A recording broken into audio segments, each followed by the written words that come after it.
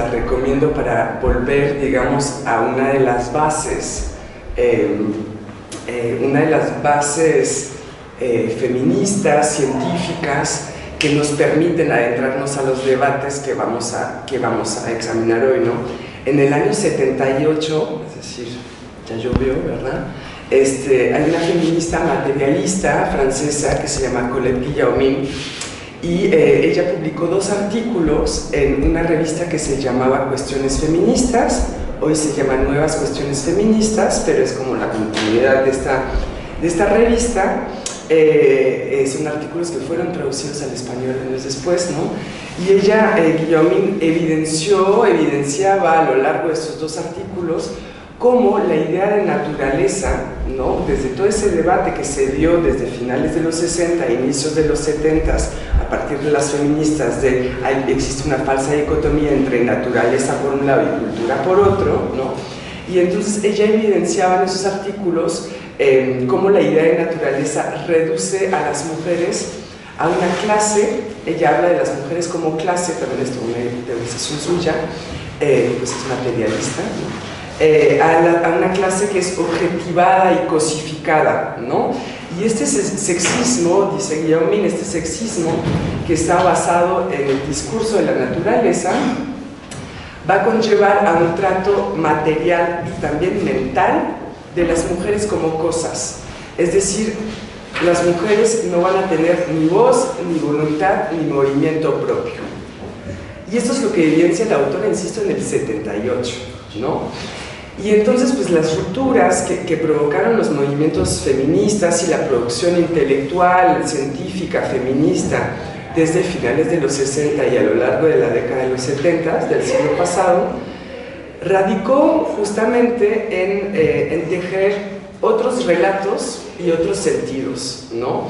Y eh, buscó otorgar un lugar específico a los cuerpos, a las materialidades de los cuerpos también, ¿no?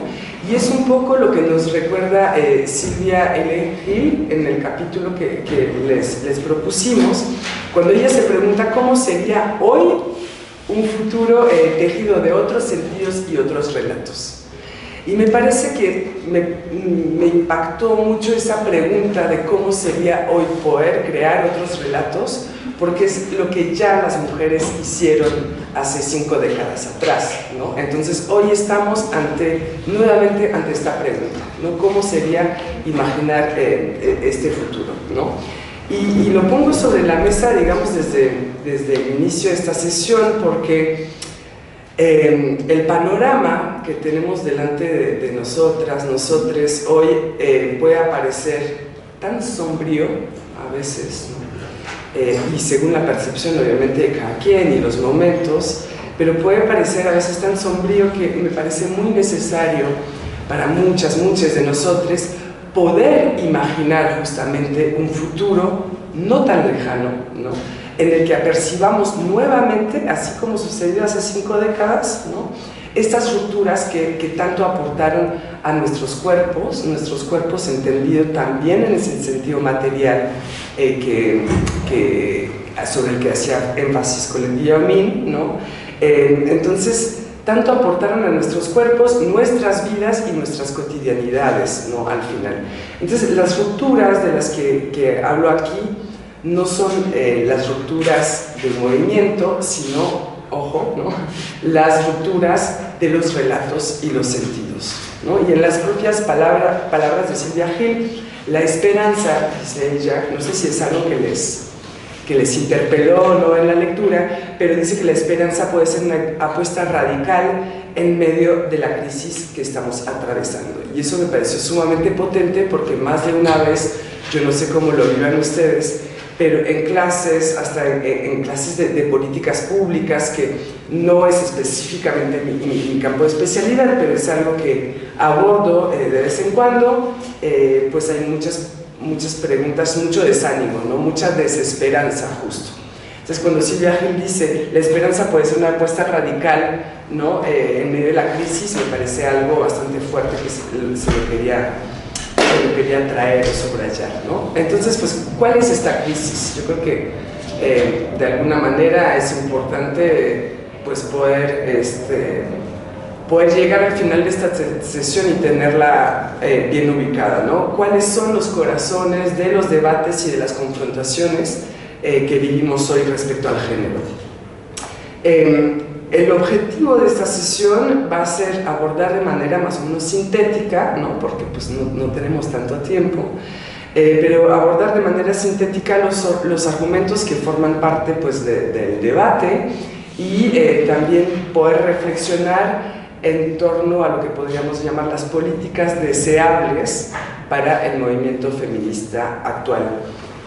Voy a hablar mayormente del movimiento feminista en singular, ¿no? Eh, aunque definitivamente soy consciente de, desde los inicios, o sea, retomando las raíces que, que, mencioné hace un momento, desde los 70 ya era plural el movimiento, ¿no? Y lo sigue siendo, ¿no? Pero eh, de alguna manera en un sentido político, y van a ver, ¿no? ¿Por qué también, espero que, que vean y si no luego me dicen, por qué me parece ah, eh, importante seguir hablando del movimiento, ¿no? Eh, del movimiento feminista. Entonces, pues eh, según eh, Silvia Gil, eh, la crisis que atravesamos se caracteriza por tres problemáticas. Me parece que es bastante esquemática y clara en su texto, no sé si les pareció lo mismo,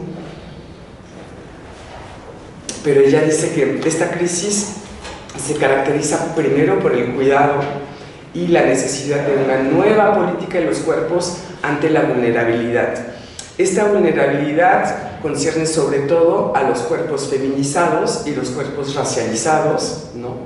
Y esta nueva política de los cuerpos que, que, propone ella como una de, de, las urgencias, uno, uno, de los puntos de la crisis actual, se debe entender desde lo colectivo y lo político, y es una parte fundamental también de su definición de crisis, ¿no?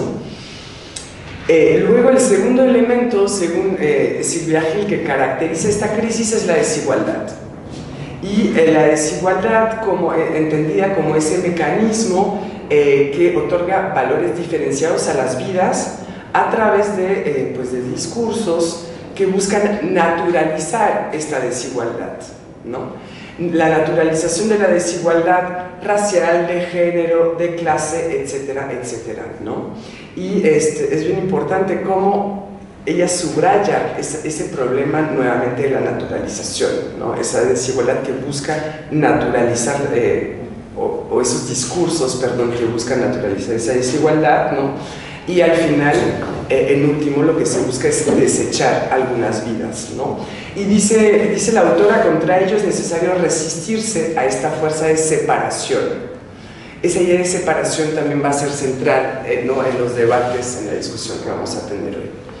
Y eh, la tercera problemática que, que, eh, que, le permite definir, digamos, la crisis actual es la violencia de género que se ejerce en contra de las mujeres y en contra de todos, todos los sujetos que desafían al heteropatriarcado.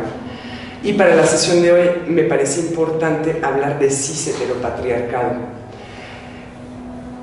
¿Cuál es el mejor término? Hay debates al respecto, ¿no? Eh, o sea, voy a hablar de cis heteropatriarcado para hacer ese énfasis en toda la discusión de esa separación entre cuerpos y vidas cis y vidas trans, ¿no? Pero hay quienes argumentan, y estoy bastante de acuerdo en realidad, ¿no? aunque hoy voy a hacer este énfasis, de que en el heteropatriarcado ya viene implícita esa, esa división, ¿no? el, el, el régimen eh, heteropatriarcal implica, según yo, esa, esa, esa, separación entre cis y trans, ¿no? Pero hoy, insisto, voy a hablar de cis heteropatriarcado para hacer ese énfasis, pues, en, en este, en uno de los corazones pues, de, estos, de estos debates, de estas controversias, ¿no? Em, entonces, los argumentos, ¿cuáles son los argumentos de ciertos discursos que se adscriben al feminismo, ¿no? Em, de ciertos discursos que son excluyentes, que son discursos de sospecha, dice Silvia Gil, ¿no? Y estos discursos se basan en varios argumentos que buscan, pues en definitiva, eh, delimitar quién es o quiénes son el sujeto político del feminismo. Y ese es un debate que hace cinco décadas atrás ya teníamos y que me parece que hace no tanto tiempo nos parecía resuelto. Pero hoy nuevamente estamos ante esa pregunta que parece válida para algunos sectores, sobre, sobre todo estos, estos sectores que, que, promueven estos discursos excluyentes, ¿no? de preguntarnos nuevamente quién es el sujeto político del feminismo. Para muchas es una pregunta que se nos hace cansada, pero desafortunadamente es una pregunta que volvió sobre la mesa, es una pregunta que se volvió nuevamente vigente. ¿no? Entonces, los argumentos de esos discursos, eh, dice Silvia Gil, pues son cuatro. El primer argumento es el del borrado de las mujeres. ¿no? Ese es el argumento por excelencia que pone sobre la mesa la cuestión del sujeto político del feminismo. El segundo argumento va a ser las diferencias que van a debilitar la lucha feminista y le van a hacer el juego al neoliberalismo porque es ese neoliberalismo el que individualiza. ¿Sí? Luego, el tercer, el tercer argumento que rescata la autora es la falta normativa que llevaría al final de la política.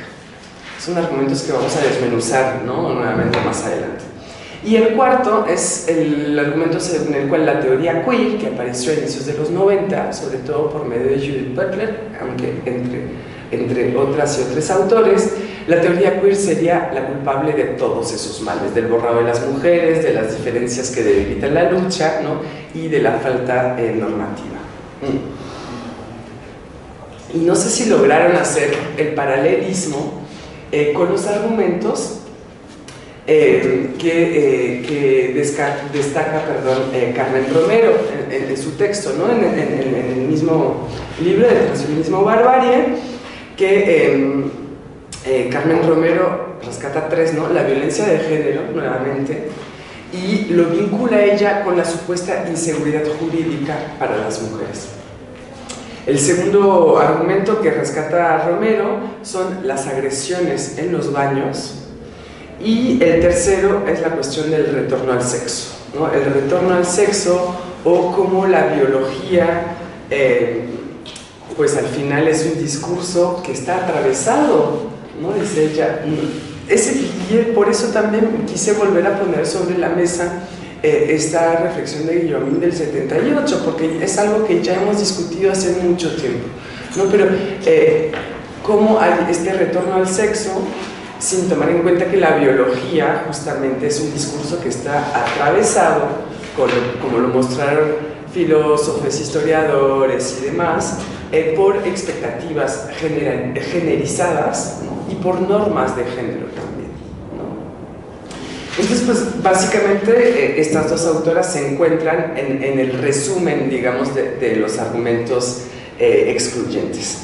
Y, y más que nunca, quizás más que nunca, em, me parece necesario recordar, como lo hace Carmen Romero, recordar al feminismo como un movimiento eh, de, emancipación, pero no de emancipación tomadas en cierto sentido, sino de emancipación en contra, ¿en contra de qué? En contra de las opresiones múltiples y también imbricadas, ¿no? Y ahí está lo que eh, resaltaba Silvia Gil sobre las desigualdades múltiples, ¿no? de, de, clase, de género, de raza, entre otras, y eh, me parece importante poder eh, tener muy presente esta cuestión de implicación.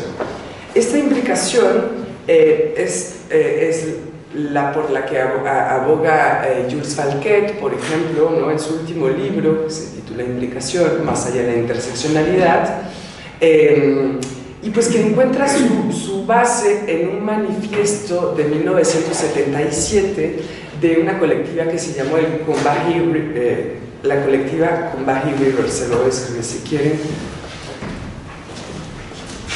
que está disponible eh, en internet, pueden buscar el, el, manifiesto de la colectiva Combahee River, está eh, traducido al español, ¿no? Y este, este me parece que puede ser considerado, no solamente a mí, no a Falquete y a muchas otras, eh, que puede ser considerado como una base fundamental eh, para el desarrollo de muchas de las reflexiones que seguimos teniendo hoy en términos, por ejemplo, de implicación. Eh, fue fundamental para el desarrollo del Black Feminism, que no necesariamente se traduce por feminismo negro, ¿no? Hay vertientes, entonces se prefiere decir que eh, es, esta base para el black feminism y eh, tiene una esencia anticapitalista, antirracista y antipatriarcal. Y son, son términos que seguramente han escuchado, han leído en, el transcurso pues, de esta cátedra y no son términos nuevos, ¿no? Es importante, de pronto lo nombramos como tal hoy, ¿no? Como antipatriarcal y demás, pero la esencia de este, de este, de este manifiesto, insisto, del 77, pues es esta, ¿no? Y son, son pues al final elementos fundamentales, me parece, de la, apuesta que tenemos, eh, que tenemos que hacer hoy. Esta implicación, me voy a detener un poquito sobre esto, me parece importante, esta implicación a veces se nombra interseccionalidad. ¿no? Y em, en, en, septiembre del año pasado, eh, Jules Alquet vino a México, hizo varias presentaciones de este libro, más allá de la interseccionalidad, a mí me interpeló mucho, a compañeras ¿no? Eh, eh, feministas también, nos hizo reflexionar mucho y con una compañera del CIEP, de la UNAM, organizamos un, seminario de lectura en torno a Angela Davis y tuvimos la suerte en septiembre de que inaugurara el seminario Mara Viveros, no sé si la conozcan, una eh, académica feminista negra colombiana, ¿no?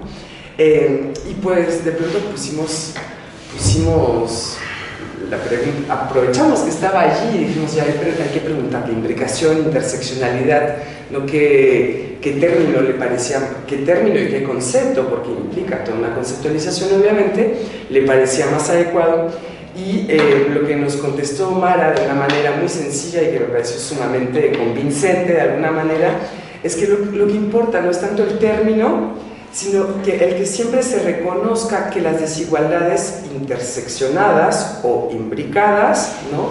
emanan de un problema estructural y no individual. ¿no? Eh, y entonces, eh, pues ella hizo énfasis, lo voy a retomar más adelante también, sobre el hecho de que lo que no hay que perder de vista es el potencial crítico del género. ¿Cómo nació el género en los 70? Desde ese potencial crítico. Y eso es lo que no hay que perder de vista, no, no importa si hablemos de implicación o de interseccionalidad, dice ella. ¿no? Si quieren escuchar la conferencia, está disponible en el canal del, del CIEG de la UNAM, ¿no? en, eh, en YouTube. ¿no? Y este, definitivamente es importante recordar también que desde sus inicios, como les decía, el feminismo ha sido un movimiento crítico, no solamente desde la conceptualización del género, pero eh, desde la esencia, podríamos decir, suena mal por los debates que estamos teniendo, las discusiones, pero una de las esencias del feminismo ha sido esta característica crítica del movimiento. ¿no? Y esta característica definitivamente no puede ser dejada de lado si eh, queremos que mantenga su potencial transformador el feminismo. Eso es algo que me parece fundamental. Mm. Y Mara Viveros contaba también en esta, en esta charla cómo pues, las políticas públicas con perspectiva de género, porque así se llaman, muchas veces las, las políticas públicas con P, eh, han hecho que el género pierda su espíritu crítico. Y esas son sus palabras, el ímpetu revolucionario inicial del género que buscaba cambiar las formas de ver el mundo. Y nuevamente me parece, me parece muy importante que, que hoy recordemos cuáles son los inicios, qué se ha buscado mostrar, ¿Qué se ha buscado combatir? ¿no? Eh, ¿Cuáles han sido las luchas del movimiento feminista hace cinco décadas atrás? Y ese ímpetu, dice ella, revolucionario, eh, pues me parece fundamental que lo, que lo sigamos teniendo eh, en mente hoy. ¿no? y dice Mara Vivero, es algo que puede interpelar ¿no? a algunos, es mujer en sí mismo no quiere decir nada. Eso dice Maravilloso en esta conferencia, ¿no? ¿Por qué no quiere decir nada mujer en sí mismo? Hace un paralelismo con el decirse negro o negra. Dice, decirme negra en sí no significa nada. Al igual que mujer, lo que importa es el sentido político que le otorgo al decirme mujer o al decirme negra o al decirme mujer negra, y es lo que planteó ¿no? la, la, interseccionalidad. Eh, entonces, esa politización, por ejemplo, de la negritud o del ser mujer, que ya habían planteado, por ejemplo, las, las autoras del manifiesto de Combahee River. ¿no? Y Silvia Gil hace una definición que me parece muy sencilla, pero muy necesaria también, porque de pronto decimos, ay, pues sí es político, pero ¿qué, qué, implica? ¿Qué significa eso de, decir, de hablar del sujeto político del feminismo o decir, nombrarme como mujer es político? Puede sonar muy abstracto, ¿no? Me parece que muchas veces lo, lo damos por hecho y pues a la hora de pensarlo bien es como, pues sí, no es de la política formal, tiene que ver con cómo estoy en sociedad, Adelante. No, le, robar dos minutos para Adelante, sí. ¿O es una conferencia? No, dos minutos no pasa nada. Muchas gracias. Este, buenos días, compañeras, compañeros compañeros. Este, la intención de esta interrupción es invitarlos a una mesa de diálogo que estamos organizando compañeros de geografía, que por todo el contexto caótico que estamos pasando en esta facultad, pues, pues, muchos trabajan, muchos no pueden estar aquí todo el tiempo, entonces estoy seguro de que al menos más de dos personas aquí están en desacuerdo con lo que se llevó a cabo con, con las conclusiones de las asambleas anteriores. Entonces justamente esto es para abrir un diálogo horizontal, para todos escucharnos, para no minimizar este, diferencias. Justo se abre esta mesa de diálogo, este grupo de mesa de diálogo, para las personas que no hemos como estado informadas por las razones que sean o por falta de comunicación eh, y no pudimos estar presentes en la primera asamblea del colegio y que por ende en la asamblea general no nos sentimos representadas o representados, representadas.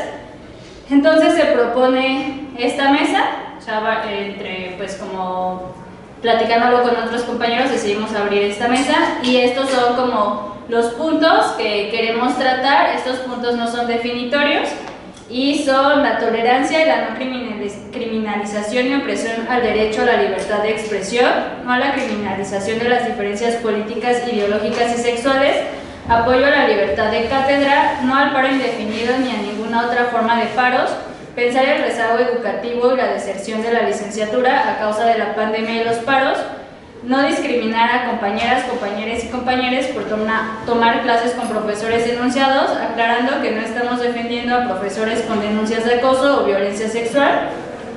Eh, y es importante que participemos todas, todos y todos para poder llegar a a un acuerdo para poder proponer en la siguiente asamblea de la facultad y pues que estas participaciones pues sean con tolerancia, objetividad y participación para poder conformar una colectividad respetuosa y de cuidados y que todos estemos abiertos al diálogo.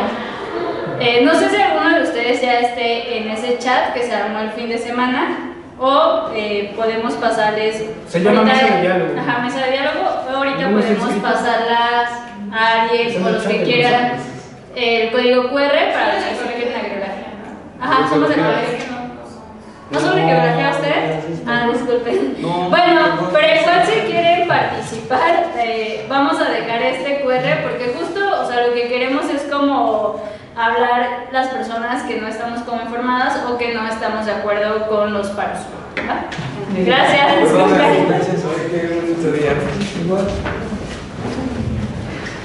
Bueno, hay por ahí alguna o dos personas de que qué bueno que haya esas iniciativas. Adelante. Definitivamente.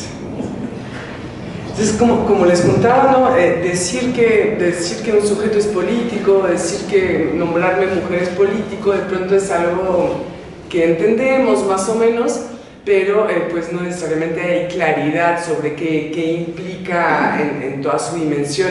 Y me parece que Silvia Gel lo recuerda, lo define de manera muy sencilla, pero fundamental. Dice, eh, y la cito, eh, decir que una categoría es política es afirmar que no puede comprenderse al margen de los mecanismos de poder que la construyen. Y eh, el, contenido eh, desarrolla ella, el contenido de la categoría es variable y acompaña las transformaciones sociales y las que, se, las que consiguen las propias luchas eh, feministas. ¿no? Y eh, pues estas reflexiones alimentan también eh, muchas de mis propias reflexiones y unas que, que, he desarrollado en específico con esta compañera con, con la que organizamos ese seminario sobre Angela Davis que les mencioné. ella es profesora del SEX, se llama Lucía, Lucía Núñez, mi compañera y amiga, ¿no? Y eh, aparte de ser amigas y compartir muchas cosas, pues compartimos muchas de estas inquietudes, de muchas reflexiones. Y, em, y pues hace poco Lucía sacó este libro que, que mencionaste, Grisel, en la, en la presentación, este libro que se titula Feminismos, Justicias y Derechos frente al Neoliberalismo. ¿no? Y em, tratamos de reflexionar, entre otras cosas, sobre esta cuestión del potencial transformador del feminismo, que es algo que nos inquieta mucho. Por ejemplo, las dos, eh, ella como desde ciencias sociales y derecho, ¿no? yo desde ciencias sociales que no estudié derecho, pero pues por los temas penales, penitenciarios ¿no? que, que, estudio, pues una de las cosas que nos preocupa, por ejemplo, es la vertiente punitivista del feminismo, ¿no? Y entonces nos preocupa mucho a las dos esa cuestión de, cómo el feminismo puede mantener su potencial transformador. Y entonces plasmamos en la introducción de, este libro algunas palabras, eh, se las voy a resumir, ¿no? pero para nosotras nos parece indispensable revisar ciertos discursos, ciertas acciones y también ciertas políticas gubernamentales, sin duda, que fueron impulsados por los feminismos o a nombre de los feminismos, ¿no? Y que prometen igualdad y también eventual, hasta, ¿no? Inclusive hay, en ciertos momentos, pues prometen justicia y libertad y en realidad, ¿en qué quedan? En lo que llamamos promesas rotas, ¿no? Promesas que no se cumplen, pues. Y entonces em, tenemos varias inquietudes que nos... Que, que nos hizo, digamos, en el camino, eh, inclusive poner en duda lo que como movimiento político y social construimos e impulsamos. ¿no? Este movimiento como feminista, ¿no? ese movimiento, insisto, que tiene esa, esa dimensión compleja, ¿no? como político y social, como qué hemos logrado, qué hemos construido en nuestras relaciones con el Estado. Y todo esto les puede parecer una digresión, pero tiene que ver con esos cuestionamientos a las políticas, etc. ¿no? Entonces, nos preguntamos con Lucía, ¿con qué visión de la mujer fundamos nuevos derechos? ¿Y desde dónde hablan las mujeres que tienen el poder de intervenir en el reconocimiento de derechos de parte del Estado? Eso es algo que, que me parece necesario tener muy presente. Otra cosa es eh, ¿Qué es la justicia para las mujeres? ¿Y justicia para qué mujeres? Eso es muy importante cuando vamos a retomar un momento la cuestión de la atención, por ejemplo, a la violencia de género. ¿no? ¿Qué mujeres tienen acceso al derecho recién nuevamente construido también? ¿no? Y al final nos podemos ampliar las preguntas. ¿Será que todas las mujeres han sido beneficiadas por las reformas y las intervenciones del Estado eh, que que han instaurado en nombre de las mujeres, ¿no? Y qué concepción o qué concepciones de justicia se producen en los contextos neoliberales y cómo al final diversos feminismos y movimientos de, mujeres adoptan pues estas concepciones de justicia, las reproducen y eventualmente las reconstruyen. ¿no? Y pues em, se, vincula eso entre muchas otras temáticas, eh, creo, con la cuestión eh, de, eh, la violencia de género. ¿no? Em, el,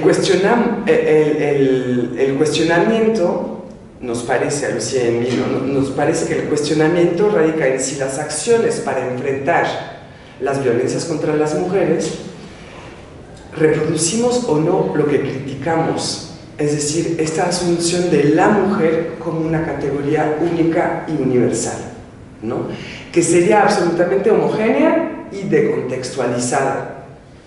Y es algo que volvemos a preguntarnos hoy cuando ya nos hicieron, podemos llamar nuestras ancestras, hace cinco décadas esa crítica al, a lo que se llamó el feminismo blanco, el feminismo hegemónico, lo que nació del norte global y que habló de la mujer, la mujer en singular, la mujer como una categoría única, con una lucha contra la desigualdad que sería válida, aplicable a todas las mujeres del mundo.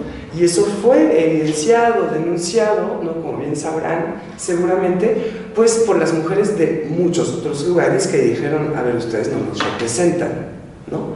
Y de ahí la importancia, por ejemplo, de la consideración de las desigualdades de la interseccionalidad, es decir, soy mujer, pero soy mujer negra.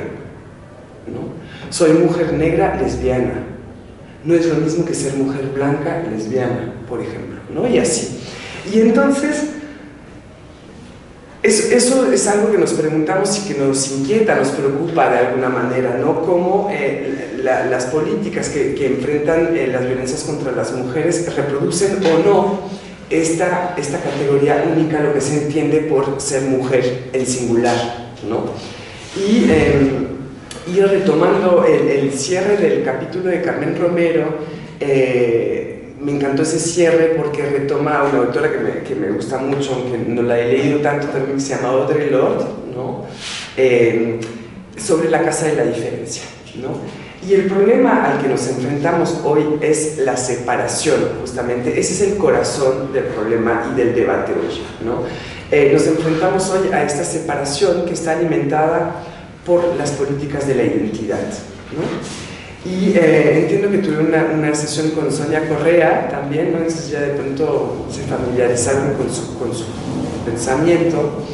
Y pues eh, la voy a traer a consideración hoy porque me parece sumamente importante pues su, su producción intelectual, ¿no? activista, académica también para, para estos debates, porque ella dice que reiterar la separación es políticamente problemático entre otras cosas porque se quiere asumir que la categoría mujer es estable. Es estable y esto, eh, dice Correa, ha sido ya evidenciado como una construcción, ¿no? la categoría mujer ha sido evidenciada como una construcción, eh, una construcción contingente por Simone de Beauvoir. Y Simone de Beauvoir publicó El segundo sexo en 1949. Entonces, ¿no? Fue una de las bases eh, que, retomaron las feministas de los 60 y 70, pero Sonia Correa dice, ya Simón de Beauvoir en el 49 ya lo dijo. Entonces, nuevamente estamos con ese tema. Bueno, pues sí, la verdad es que sí. Este, y eh, también Sonia Correa, así como eh, eh, muchas otras, retomamos trabajos de historiadores, como les decía al inicio, ¿no? historiadores, filósofos como Michel Foucault, Thomas Laqueur o Jeffrey Weeks, entre otros, ¿no? porque ellos han mostrado cómo la sexualidad y los modelos corporales y sexuales, eh, estos modelos binarios, tanto corporales como sexuales, ¿no? Corporales, es decir, pues eres hombre o mujer, tienes tetas o no tienes tetas, tienes vulva o tienes pene, ¿no? Los modelos sexuales también, es decir, eres heterosexual o eres homosexual.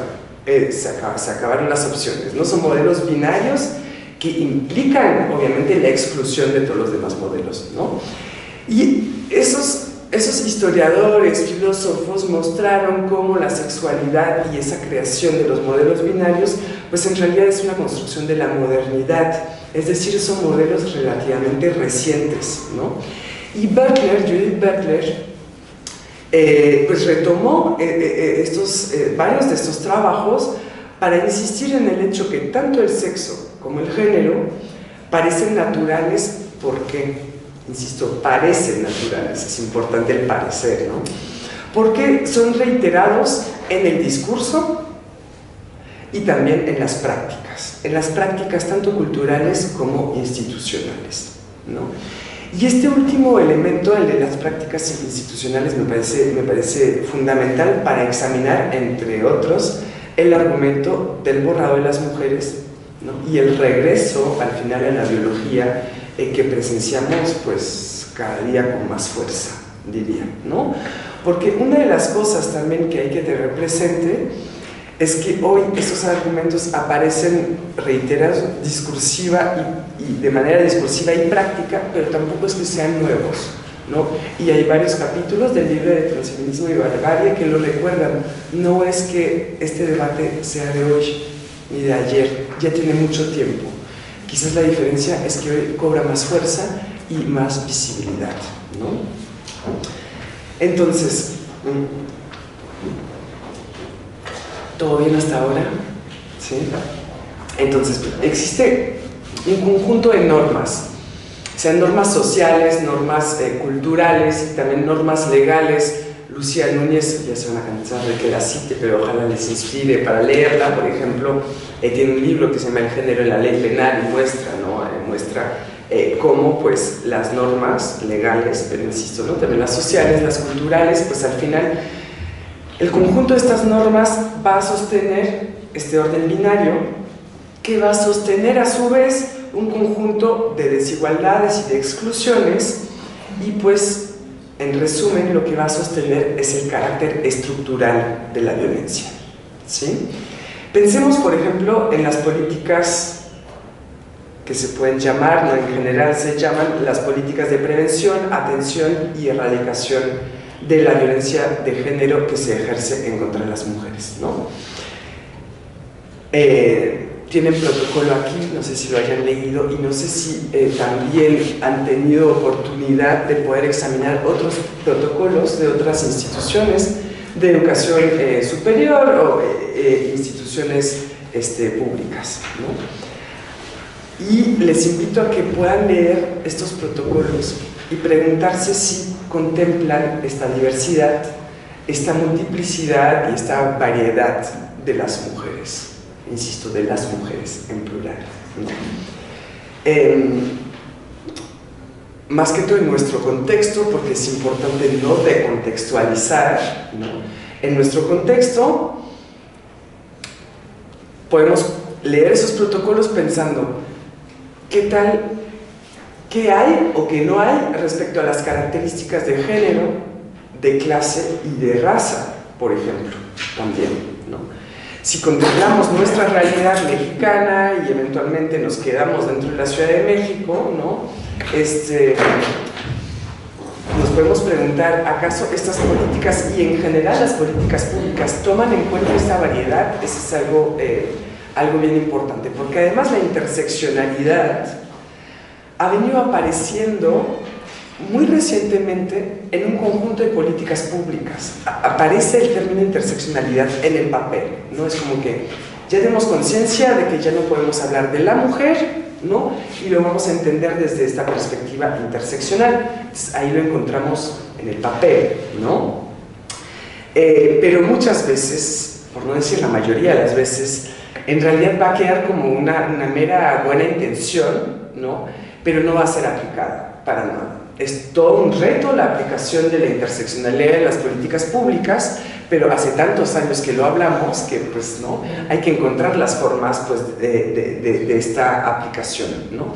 Y pues en este sentido, em, concuerdo totalmente con, Sonia Correa en una entrevista que dio para una revista que se llama Sur, hace ya, eh, creo que fue en el 2016 o 2017, eh, porque expresa en esa entrevista que estamos frente a desafíos conceptuales y semánticos, ¿no? porque la, la, evidencia muestra que demasiadas veces, pues justamente las instituciones y las políticas públicas siguen equiparando género a mujer. Es algo que ya se ha evidenciado hace mucho tiempo, pero en la realidad sigue pasando esto. ¿no?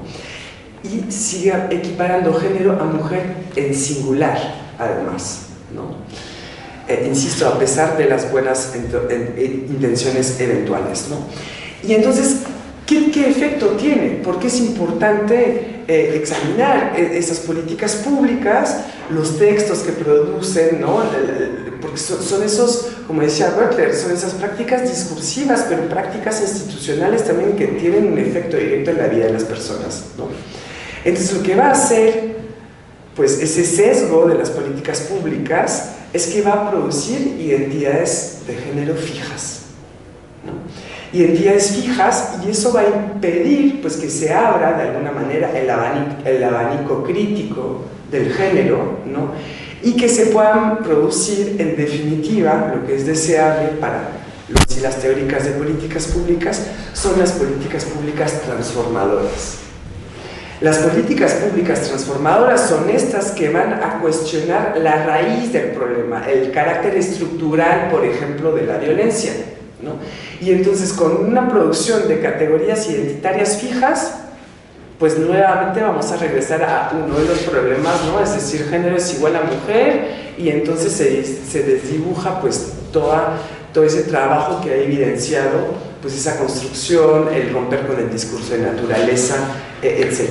¿no? Entonces me parece que el discurso, el, perdón, el desafío eh, radica ahí eh, de alguna manera en no perder de vista este carácter estructural de las cuestiones de género para poder justamente contrarrestar las separaciones y de alguna manera soldar las fracturas que es así sirven al Estado y al neoliberalismo que tiene una política, ¿no? Estado y neoliberalismo entendidos como fundamentalmente funcionando de la mano, ¿no? divide y vencerás.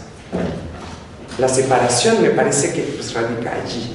Y en ese sentido me parece que sí le hace el juego al Estado eh, esta separación le hace el juego al Estado y al neoliberalismo en ese sentido. Y estas fracturas, pues al final no le van a servir a nadie, a mi parecer, sino justamente a las lógicas de la o las maquinarias del poder.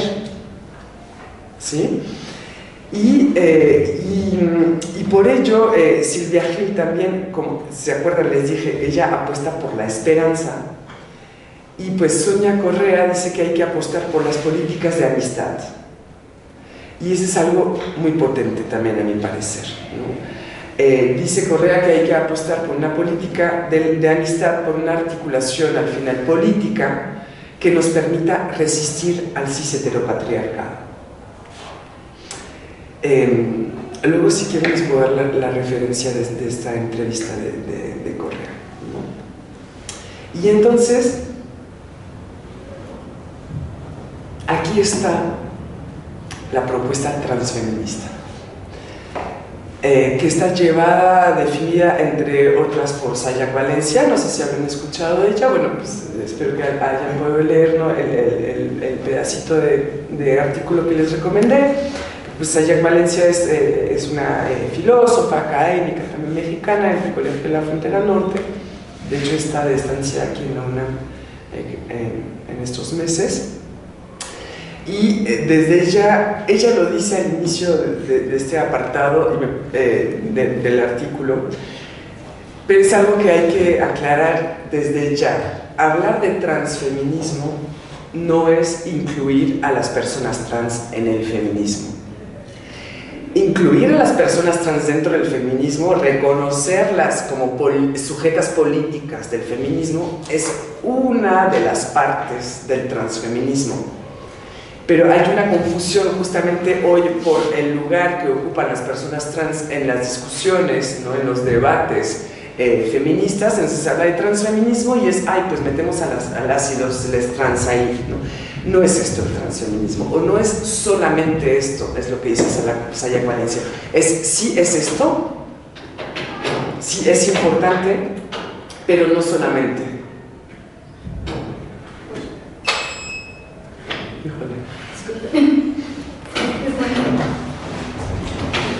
Parece preocupante no poder abrir en cualquier, en cualquier cosa.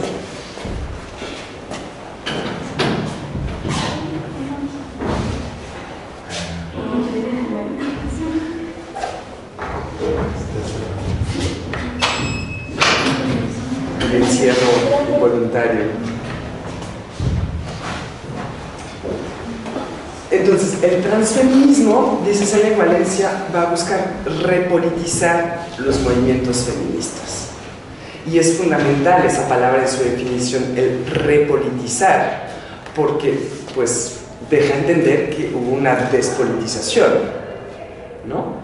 Entonces lo que va a buscar el transfeminismo, dice ella, es repolitizar los movimientos feministas frente a esta despolitización o, dice ella, desactivación política que emprendieron las ONGs, los gobiernos, ¿no? y todas esas instituciones como las que, pues, ¿no? lo que, acabamos de platicar, que está ocurriendo, por ejemplo, en la formulación de políticas públicas, y las ONGs podemos entender también cómo, por ejemplo, la ONU, desde los años 90, ha alimentado mucho eh, pues esta, esta depolitización o desactivación política eh, en, hablar de mujer en singular, por ejemplo. Por ejemplo, cada, eh, cada, cada, año checo la página de la ONU a ver si renombraron el Día Internacional de la Mujer o ¿no? el Día Internacional de, de la Erradicación de la Violencia contra la Mujer. Y sigue así en su página oficial. Eso es algo que me parece, tienen un discurso que se quiere progresivo y que quiere contemplar la diversidad de las mujeres en el mundo, etcétera, etcétera, pues sigue hablando de la mujer, ¿no? Entonces, pues, eh, y entre otras organizaciones internacionales, ONGs nacionales, internacionales, eh, etcétera, ¿no? Y eh, pues dice Valencia que pues esta despolitización solo va a favorecer al Estado y al mercado. Y toma esos ejemplos del purple washing o del pink washing. No sé si habían escuchado esos términos antes, ¿no? El purple washing, purple en inglés es morado, ¿no? Y el pink washing, el lavado morado o el lavado rosa. Es decir, lo, habrán observado mucho, por ejemplo, en marzo, ¿no? cuando es el, mes del 8 de marzo, o por ejemplo en junio, cuando es el mes de la diversidad. ¿no? Y entonces como todas las empresas, muchas empresas, instituciones, un conjunto, activan un conjunto de mecanismos, sea desde el ámbito público, desde lo privado, ¿no? Insisto, las, las, eh, las instituciones gubernamentales, las primeras, y luego todas las empresas que se quieren dar pues esa, esa fachada, esta imagen de progreso, ¿no? Yo estoy a favor de los derechos de las mujeres, entonces voy a hacer un pronunciamiento, me voy a pintar de morado este mes, ¿no? O en junio, pues estoy a favor de la diversidad y entonces, pues me voy a pintar de arco iris, voy a armar un carro alegórico en la marcha, ¿no? Y esas son, por así resumirlos de manera muy sucinta, ¿no? pero son algunos de los mecanismos que usan eh, para hacer este lavado morado o este lavado rosa. Con la ropa, ¿no? O la ropa, efectivamente. Y lo que pasa es que en realidad este lavado, la, la cuestión de la ropa, por ejemplo, es uno de los mejores ejemplos para decir, pues, ¿quién se beneficia? Es el mercado, porque van a vender la ropa, las sombrías, las mochilas, etcétera, etcétera, ¿no? Y pues de parte de las empresas o de las instituciones eh, públicas, ONGs, etcétera, pues hay un discurso que no corresponde con la práctica, antidiscriminatoria, por la igualdad, etcétera, etcétera. ¿no? Y, em, y entonces hay toda esa despolitización. Es decir, pues hay un discurso, pero no hay un actuar político, no hay un actuar que esté mirando estos mecanismos de poder para poder dar respuesta, contrarrestar esos mecanismos y decir, ok, en mi organización la desigualdad, por ejemplo, entre hombres y mujeres de manera muy binaria, pero sigue siendo necesaria también, ah, viene de allí, entonces por ahí voy a tratar de corregir. No, ¿no? hay este, hay este, hay este, este lado. Entonces, pues el, el, transfeminismo va a apostar por una suerte de alianza, digamos, ¿no? de una diversidad de cuerpos, de vidas y de discursos dice Valencia, tiene una pequeña enumeración ahí, ¿no? Eh, que va a buscar esa alianza de las personas trans, de las personas mestizas, migrantes y todas las personas vulnerables, o diría mejor vulneradas, por eh, la raza, la clase y muchas otras eh, categorías. Y esta alianza se va a buscar en pro de un bien común. Y este bien común me parece que lo podemos establecer como, entre otras cosas, podemos establecer un paralelismo con el primer punto de la crisis que define Silvia Gil, ¿no? esa necesidad de una política, eh, una política de los cuerpos, sobre todo los cuerpos eh, vulnerados por ser feminizados, eh, y, y, este, esta necesidad de la política del cuidado y la política de los cuerpos, que sea colectiva y política, ¿se acuerdan? Que dice Silvia Gil, me parece que es uno de los puntos de encuentro por, con lo que pues, propone el transfeminismo, ¿no? este, este bien común. Y eh,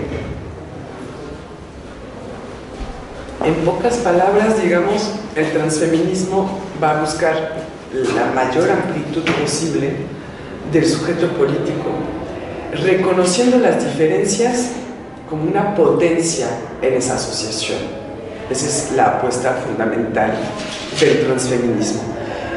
Algo que es muy importante también en ese artículo y en todo el artículo en realidad es Sayak Valencia y es parte de su teorización, eh, esa necesidad de alianza, eh, eh, esa potencia en la alianza y en búsqueda del bien común es fundamental en el contexto en el que estamos y ella hace mucho énfasis en el contexto de necropolítica y cómo el mercado pues se beneficia de sus mecanismos de poder que entre otros, digo de manera muy, muy simplificada, ¿no? pero negocian con la muerte. Y negocian con la muerte de las mujeres, de las personas feminizadas, de las personas vulneradas por clase, por raza, por género y por varios otros motivos. ¿Sí? Entonces, me gustaría retomar uno por uno los, argumentos que, que enlistan Silvia Gil y Carmen Romero. Eh, se puede hacer unas, unas, agrupaciones, digamos, hay varios que son similares, para poder pues, tener, eh, tener claro en qué consiste el argumento y cuál es de alguna manera el camino que se ha tomado para, eh, para, para desmenuzar esos argumentos. ¿no?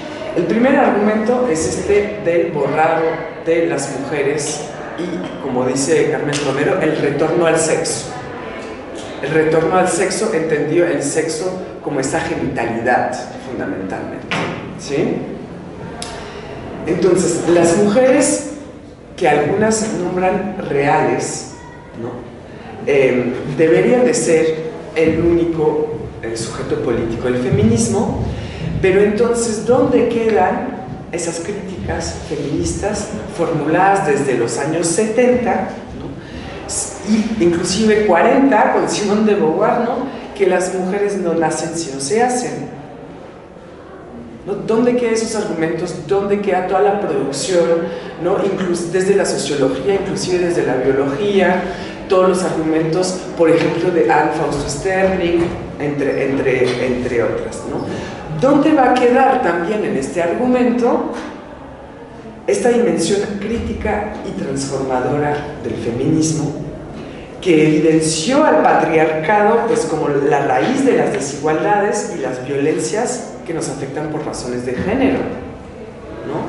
Eh, ¿Acaso otros sujetos, otros sujetes generizados, feminizados, no son blanco de estas desigualdades, de estas discriminaciones y de estas violencias, todas las que encuentran su raíz en el patriarcado? ¿Acaso no son eh, blanco de esta violencia por este mismo motivo? Es algo que si quieren lo, podemos platicar, ¿no? Pero eh, la, misma, la misma ciencia médica que es la que naturalizó el modelo de los dos sexos. Eh, pueden leer a Thomas Lacker, es, es, muy, como historiador, es muy instructivo y es muy interesante ver cómo pues hasta el siglo XVIII pues teníamos un modelo de un solo sexo. ¿El aparato reproductor está adentro o afuera? ¿No? Es con falta de calor, con una falta de en las mujeres que hace que pues no hayan externalizado, digamos, el aparato reproductor, pero es como que es un modelo de un solo sexo. Y apenas en el 18 nos puede parecer lejano hoy, pero digamos, viéndolo en perspectiva histórica, pues no, no, es tan, no es tan lejano, digamos, ¿no? Y entonces pues, es esta ciencia médica que naturalizó ese modelo de dos sexos que conocemos hoy, ¿no? Y todo el orden social de género que deriva de este modelo binario. Eh, y pues es, esa naturalización que, insisto, ¿no? desde el inicio, me repito, pero es muy importante, me parece, que fue denunciada, que fue evidenciada por las feministas eh, hace cinco décadas atrás, en esta crítica a la, a la oposición naturaleza eh, y cultura, em, que permite entender todo el camino de opresión y de dominación de las mujeres por parte de los hombres, pues al final esta misma ciencia médica se va a convertir hoy para algunas eh, en un referente legítimo para la definición del sujeto político del feminismo. Y entonces hubo mucho camino recorrido y vuelve como el... hacemos un, bucle, ¿no? Estamos volviendo al punto de partida porque hemos caminado tanto, ¿no? Eh, no habría, no habría, es una, cuestión, una pregunta muy retórica, ¿no? no habría ahí una, me parece una severa contradicción con la definición, este, eh, con, perdón, con las raíces mismas del movimiento feminista. Me parece que hay, hay una severa contradicción con las mismas raíces del movimiento eh, feminista que además hay que recordar, así como el debate de quién es el sujeto político del feminismo, si las personas trans tienen, su lugar o no, eh, pues en los congresos feministas, por ejemplo, ¿no? Hay que recordar que las mismas personas trans y queer fueron fundamentales en, en el movimiento feminista desde sus inicios, ¿no? Podemos recordar, por ejemplo, a Marsha P. Thompson, que fue fundamental en los disturbios de, Stonewall y toda la lucha por los derechos basados en el género, de las mujeres y de muchas otras personas. Em, retornar, entonces la respuesta de muchas, de nosotras es retornar al sexo. Insisto, seguimos examinando ese argumento del borrado de las mujeres, ¿no? retornar al sexo y al discurso de la biología vuelve a crear al final una categoría única y universal de mujer, además en singular. Em, luego, el segundo argumento para volver a, para seguir desmenuzando y resumiendo de alguna manera es el argumento según el cual las diferencias debilitan la lucha feminista, ¿no? Y además le hacen el juego al neoliberalismo. Va de la mano, esos son dos argumentos que van de la mano, ¿no? Em, pues el ejemplo de Stonewall que acabo de mencionar es como el, el no, no, el ejemplo perfecto, pero quizás uno de los ejemplos paradigmáticos, ¿no? Eh, de, que muestran eh, pues cómo la diversidad de las identidades han aportado desde ese entonces y hasta la fecha, me parece, a la lucha emancipatoria. Eh, el neoliberalismo, no lo retomo también de Silvia Gil, el, el neoliberalismo se va a beneficiar de esta separación entre identidades siempre y cuando las va a recuperar primero en estas políticas divisorias, estas, políticas que podemos llamar sectorizadas, es decir, la política, ¿no? Como por ejemplo en un evento, el sectorizar es por ejemplo en un evento va a haber una mesa sobre mujeres, una mesa sobre indígenas y una mesa sobre personas adultas mayores. ¿Y en qué mesa se va a examinar a las mujeres mayores indígenas? a esa sectorización. ¿no? Es como para, para eh, ilustrarlo. ¿no? Entonces, la separación de las identidades le va a beneficiar al, neoliberalismo siempre y cuando se va a retomar en estas políticas sectorizadas. Y luego, siempre y cuando este, va a estar a favor del mercado. Por ejemplo, en, el, en, el, lavado morado o el lavado rosa. ¿Sí? Entonces lo que hay que guardar presente de manera, de manera muy clara es esta mirada crítica que nos va a permitir ver qué, qué mecanismos de poder buscan apropiarse de la lucha feminista.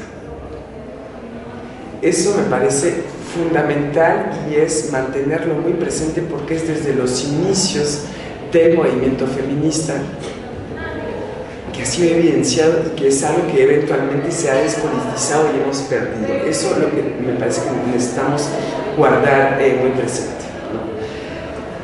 Eh, entonces, ese argumento según el cual las diferencias debilitarían la lucha, de alguna manera no implicarían reproducir ciertos mecanismos de poder. ¿Quién habla por quién? ¿Quién decide quién está dentro y quién está fuera? ¿No? Em, y eso en, todo, en tal o tal discurso, en tal o tal espacio, en tal o tal institución, protocolo, etcétera, etcétera. ¿No? Entonces nos podemos preguntar, si examinamos los mecanismos de poder, pues, ¿quién va a acaparar la palabra? ¿Quién va a hablar por? Y pues al final, ¿quién va a terminar quitándoles la voz a ciertos sujetos? Así como Guillaumin decía en, los, en, en esos artículos que les mencionaba de los 70s, cómo pues al final la clase de los hombres consideraba a la clase de las mujeres sin voz ni voluntad propia. Pues me pregunto si ahí no estamos frente justamente a esa reproducción de mecanismos de poder de y mi voz sí es válida, no la tuya, no tienes ¿no? Ni, voluntad ni movimiento. Eh, luego, este argumento según el cual la falta normativa nos llevaría al final de la política. Eh, la normativa, al final, que ha conseguido el movimiento feminista, como les mencionaba, ¿no? como con Lucía y varias otras compañeras eh, reflexionamos, definitivamente la normativa no beneficia a todas las mujeres por igual y deja a muchas fuera de esta norma. ¿no?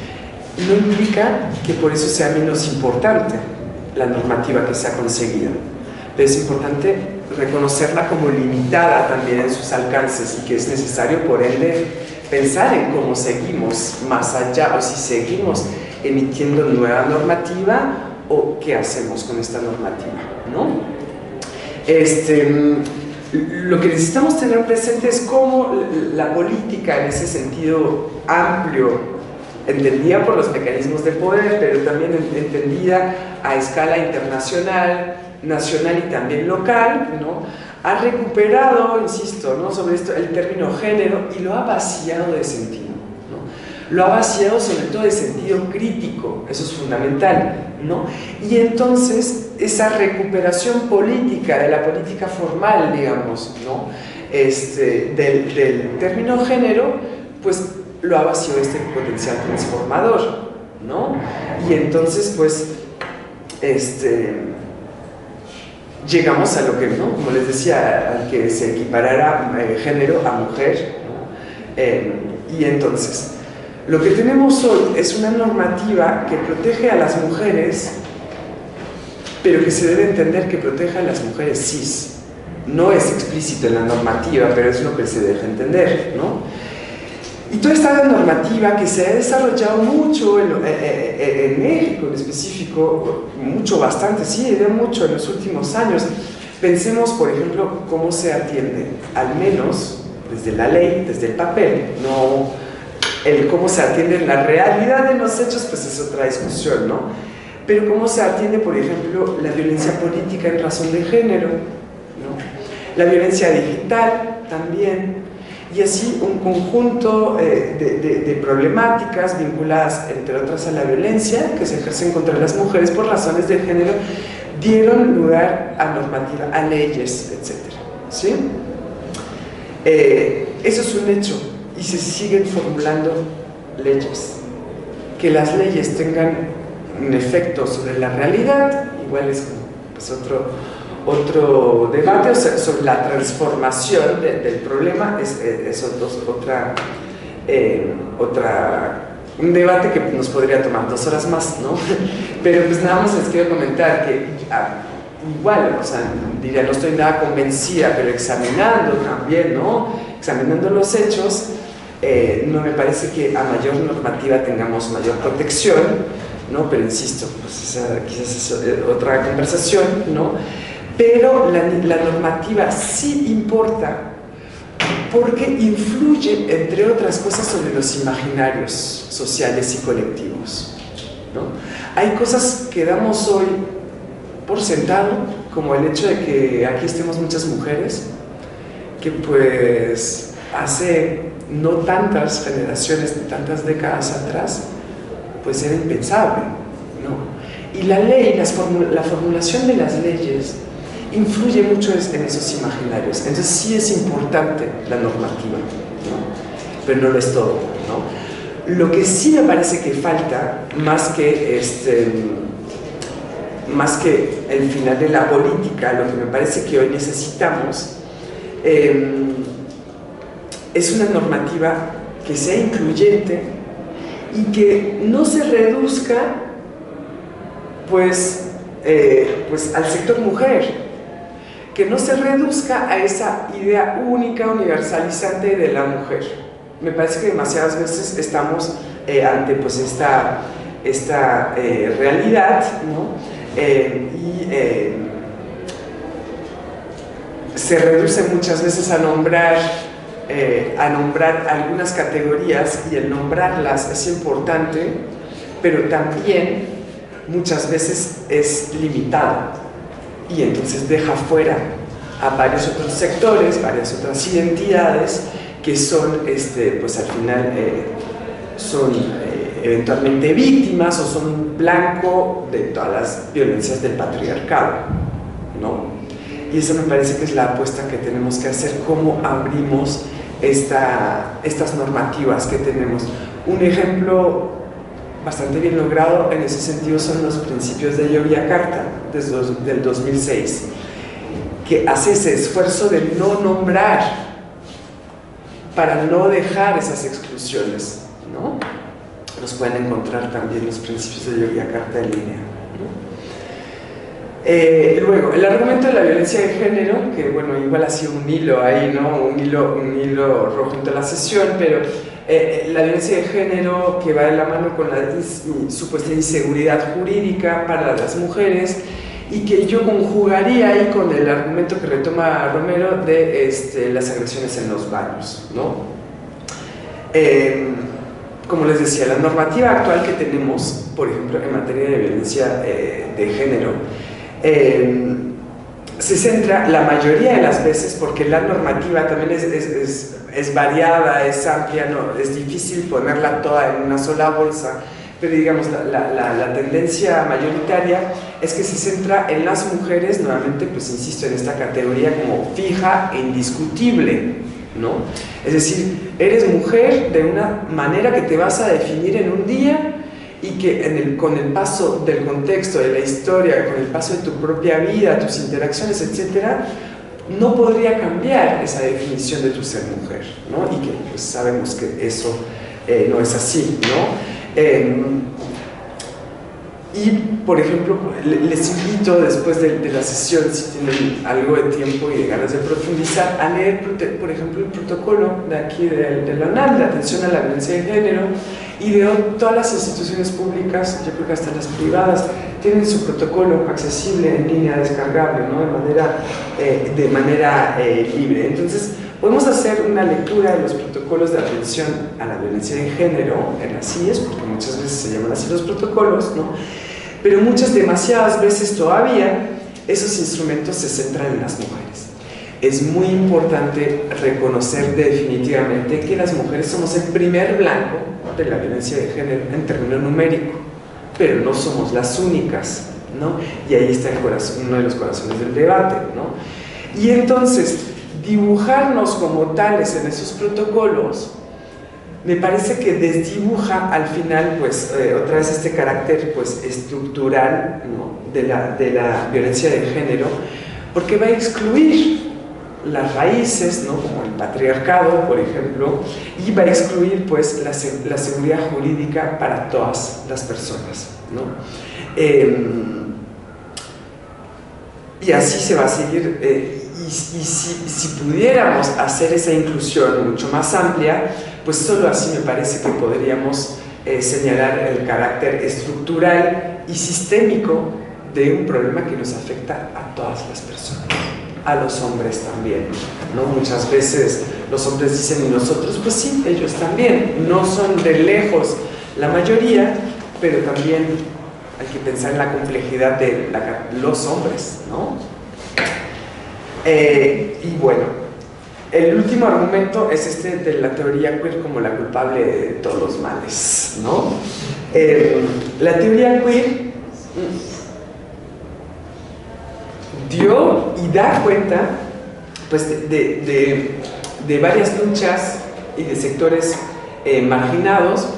Y en ese sentido, de Silvia Gil, eh, casi casi me sacó una, una, risa, es mucho decir, pero al menos una sonrisa, dice, eh, la teoría tendría más poder que la realidad. Y eso me, pareció como formulado de, manera, de una manera, manera perdón, muy sencilla, pero pues bastante cierta, ¿no? Es decir, ay, pues sí, la, bendita teoría queer, ¿no? Que le echen todos los males ahí, todas las culpas, y es como, pues dice Silvia G, ¿no? La, teoría tendría más poder que la realidad, pero eh, además, y, eso ya no saca sonrisas, sino más reflexión, eh, el rechazo a la teoría queer podría significar, dice ella, el rechazo de las vidas de los márgenes, ¿no? Eh, y en este sentido, pues otra vez va a volver sobre la mesa la cuestión de qué vidas eh, son válidas, qué vidas son autorizadas, ¿no? y eh, pues los marcos, cuáles van a ser los marcos de género que van a ser legitimados y reconocidos como políticos, que implica cuáles no, ¿no? Entonces, pues al final jerarquizar y apartar, separar, va a implicar eh, negar ciertas identidades que resisten, que sí resisten también ellas al patriarcado, al heteropatriarcado y al cis heteropatriarcado, ¿no? Eh, entonces se va a reproducir al final esa invalidación, como pasaba en los 70, ¿no? De ciertas clases sobre otras. Así como la clase de los hombres invalidaba a la, a la clase de las mujeres, pues allí eh, el, rechazar absolutamente, no digo que haya que inscribirse absolutamente, ciegamente, de manera acrítica a la teoría queer, ¿no? pero el designarla como la culpable de todo, de esta despolitización, etcétera, etcétera, este, pues al final me parece que eh, pues eh, lleva a esa negación y esa jerarquización de las identidades que en definitiva nos impide o busca impedirnos hacer esas alianzas en pro del bien común, ¿no? Entonces, pues ya voy a ir cerrando para dejarles la palabra a ustedes también, ¿no? Eh, me parece que tanto en, los tres textos que, vimos para hoy, las tres voces se encuentran, ¿no? las voces de, de, Valencia, de Romero, de Gil Isaya Valencia de Silvia y Carmen Romero es importante nombrar también para visibilizar, eh, en este caso, las mujeres. Y las voces de muchas otras también, pues al final eh, deconstruyen, de alguna manera, deconstruyen los argumentos transexcluyentes a partir de una especie de lógica inversa, ¿no? a saber que la separación de los cuerpos, la esencialización y la legitimación de unos sobre otros eso, dicen ellas, es totalmente al revés. Eso es lo que debilita la lucha feminista en contra del orden patriarcal o del orden cis heteropatriarcal. ¿no? Ese orden que que está sostenido, que va de la mano con ese dúo capitalismo-estado. ¿Sí? Y entonces van a decir, las diferencias no debilitan la lucha, al contrario, la unión de estas diferencias es la que permitiría llegar a más fuerza, no mayor fuerza, para luchar ¿no? dentro de la lucha del movimiento eh, feminista para alcanzar al final pues, justicia y libertad para todas las personas.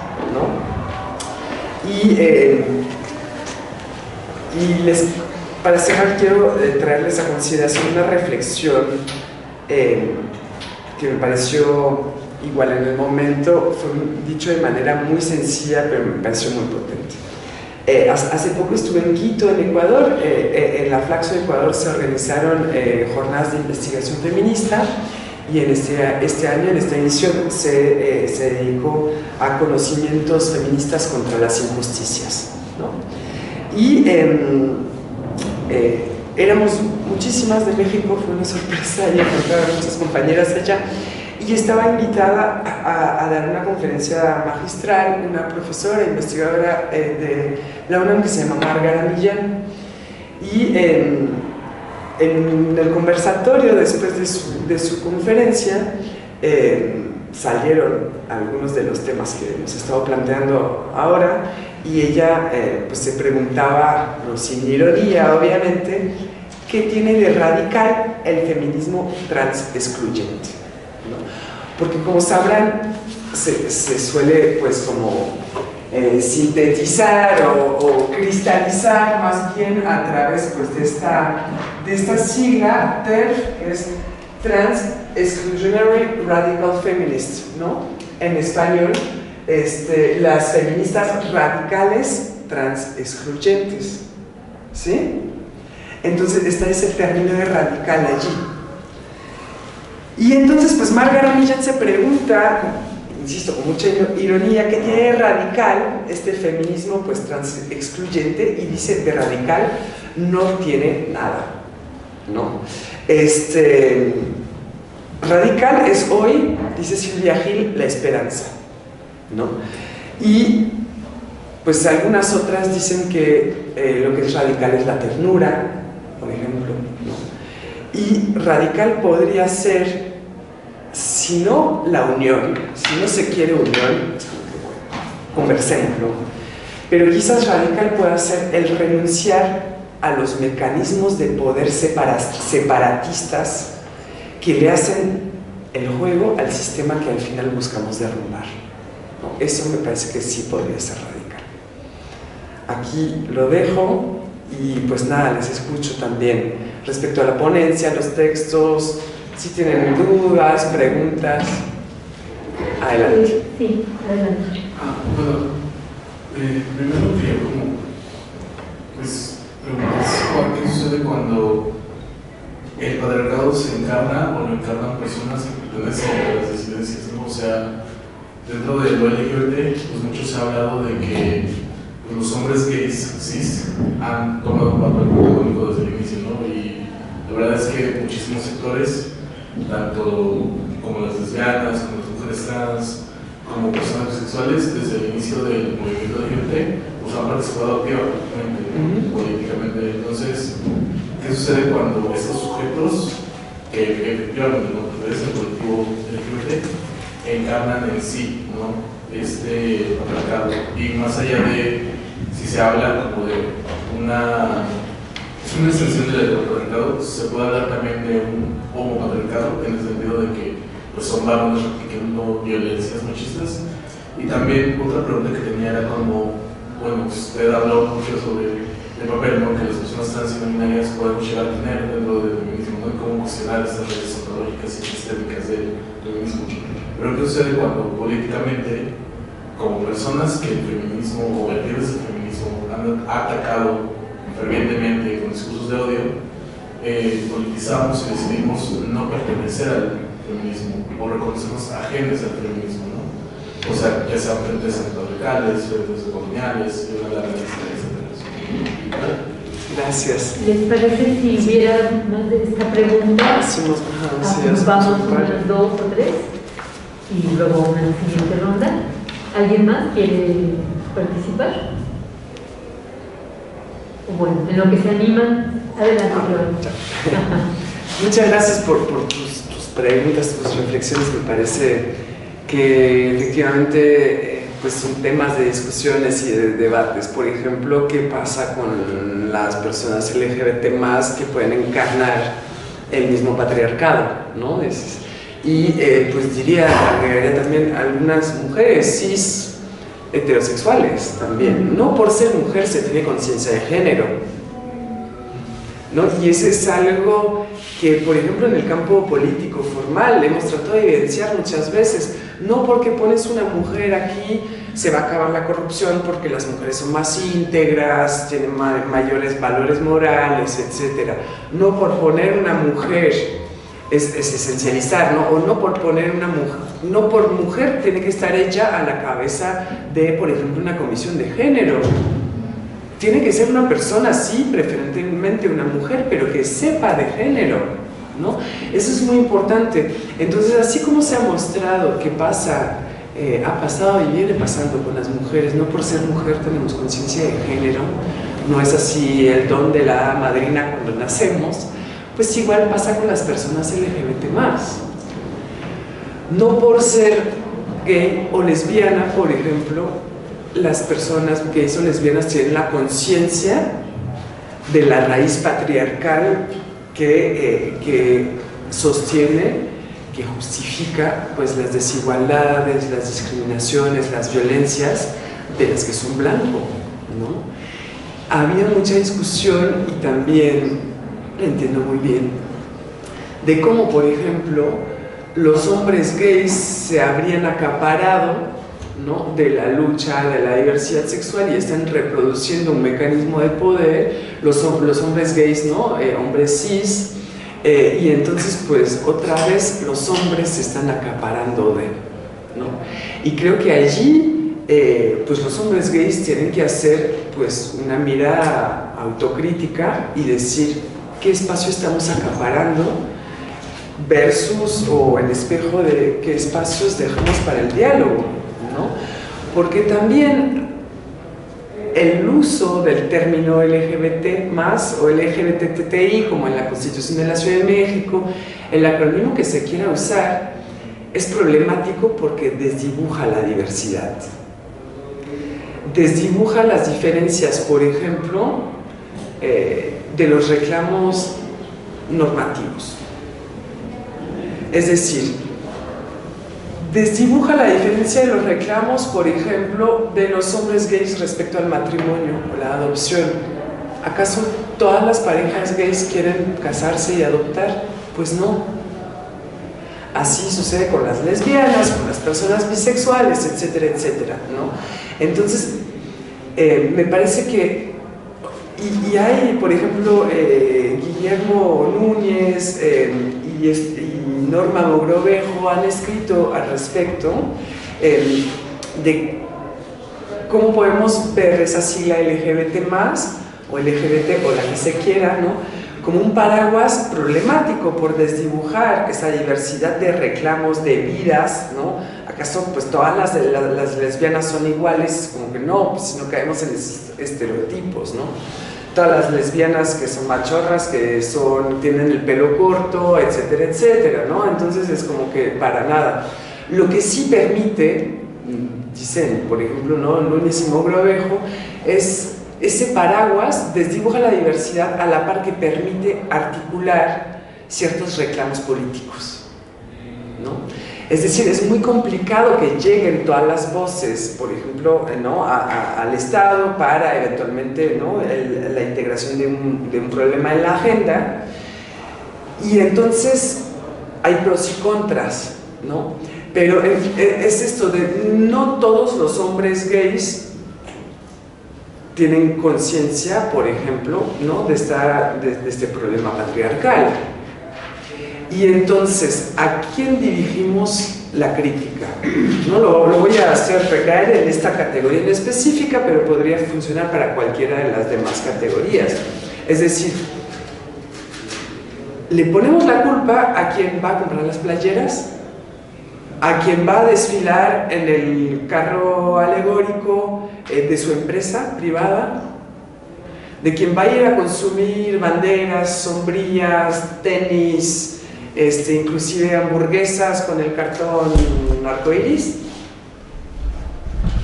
¿Sobre quién hacemos recaer la culpa? Normalmente sobre el individuo, ¿no? Y allí creo que es una, una cuestión que no hay que perder de vista, es, en la dimensión sistémica del problema, ¿no? Es decir, no hay que atacar a quien quiere consumir, hay que atacar las formas como se hace el mercado. ¿Sí? Y entonces, insisto, o sea, retomando como el inicio de la respuesta, es que entiendo perfectamente que no sé si hasta la fecha, pero hasta fechas recientes, recuerdo estas discusiones de, perdonen el francés como dicen, pero pinches hombres que se acaparan de nuestra lucha, así de parte de, mujeres lesbianas, ¿no? Yo digo, pues sí, tanto ha luchado para ganar visibilidad, para que se reconozca esa identidad de mujer lesbiana o esas identidades de mujeres lesbianas, que a veces algunas también quisieran como esencializar, esencializarla, ¿no?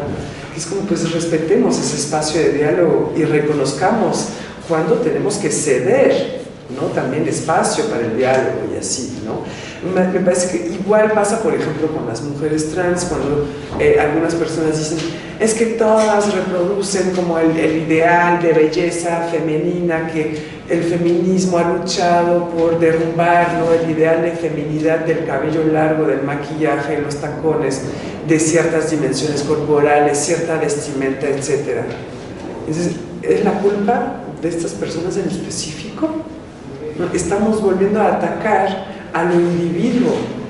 Y el problema, pues espero haberlo dejado claro, el problema es, o sea, tenemos que ver mucho más allá del individuo, la dimensión estructural de ese problema. Y no me acuerdo de la segunda pregunta que tenías, perdón. Ah, de que, qué sucede cuando las personas que han sido atacadas ontológicamente y por estas vertientes del feminismo que reproducen ese episodio, deciden políticamente no nombrarse feministas o nombrarse ajenas, ajenes al feminismo e incluso no usar otro tipo de categorías como para tipo de carne, etcétera, etcétera, etcétera. Sí. Y, y, es toda, o sea, es una pregunta sumamente actual, inclusive para mujeres jóvenes que eh, dicen, pues yo no me reconozco en este feminismo, por ejemplo. Como decíamos, dentro de la diversidad, ¿no? la, la, la variedad del movimiento feminista, pues dentro de todas esas aristas, vertientes más bien, pues hay algunas que definitivamente pueden ser percibidas como representativas del movimiento feminista, cuando no necesariamente lo son. Puede ser esta una vertiente, pero puede causar ese rechazo de decir, yo sí estoy harta de la violencia, eh, ¿no? De la violencia que vivimos en la universidad, que vivo en, el transporte público, etc.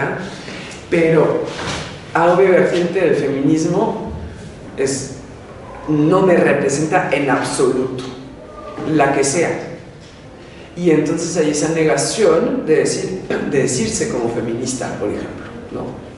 Y es toda una y eso va para, como dices, también, ¿no? No sé, por ejemplo, para mujeres trans que fueron, no sé, pues víctimas de insultos transfóbicos, de algún tipo de violencia transfóbica, también decir, bueno, pero por, las, por el, la vertiente TERF del feminismo, pues yo no me reconozco como feminista. ¿Cómo me voy a reconocer como feminista ante un discurso pues, que niega mi realidad, mi, mi identidad, mi, mi cuerpo, mi, mi vida, ¿no?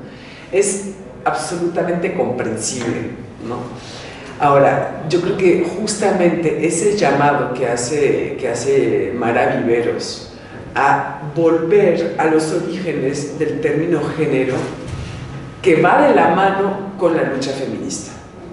Es decir, recordar el potencial transformador y el espíritu crítico, tanto el movimiento como la teorización que se hizo después, me parece fundamental porque eso nos permite no, no, quedarnos en ciertas casillas, por ejemplo, decir, el feminismo es esto, es esto y ya.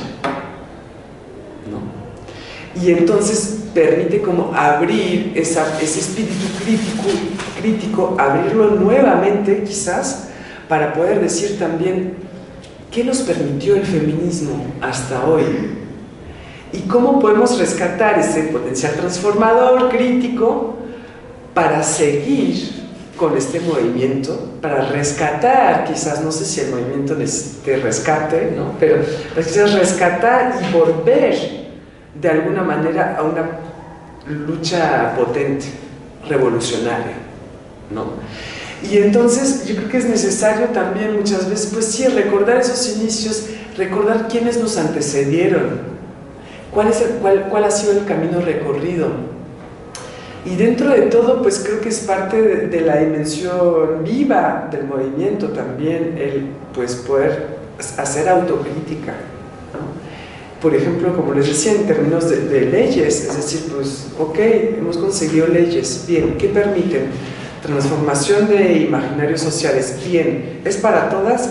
Ah, pues no, hay un límite, ¿no? Entonces, ser autocríticas, creo que como feministas es parte de nuestras tareas, deberes fundamentales, ¿no? Es decir, pues poder volver hacia nosotras mismas y decir, mm, pues sí, reconocer nuestros errores y sobre estos pues seguir avanzando, ¿no? y pues sí reconocer, sé que también hay cuestiones en ese sentido, va de la mano un poco con esas inquietudes de eh,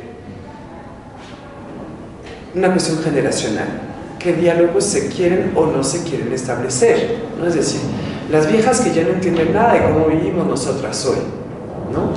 que por, que por mayores de edad, que por privilegiadas de clase, que por a veces motivos, están desconectadas de nuestra realidad, entonces no podrían opinar sobre lo que estamos viviendo, ¿no? Y entonces algunas se cierran, algunas se cierran al diálogo y otras no, ¿no?